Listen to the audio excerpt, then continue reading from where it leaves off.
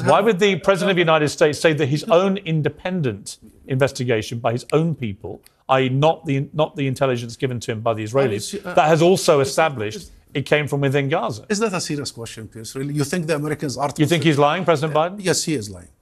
He is lying.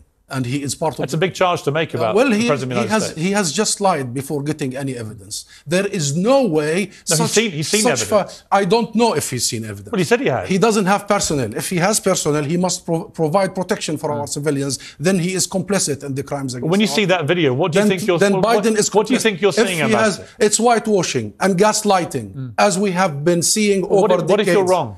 And uh, well, what if I am wrong? Bring me again here, okay? Okay. Bring me again here, and then we'll discuss it. Okay. No one has such firepower except the Israeli But have you seen the crater? Occupation. Have you seen the crater? army. And you know what? No one even in the region has such firepower. Have you This seen? is a Have you very seen? sophisticated. Have you seen the crater? I have seen. I have. Bon- I have. Does that crater not I tell you seen- it was not an Israeli you See, this is the trick. I'll tell you what happened. Israel did it.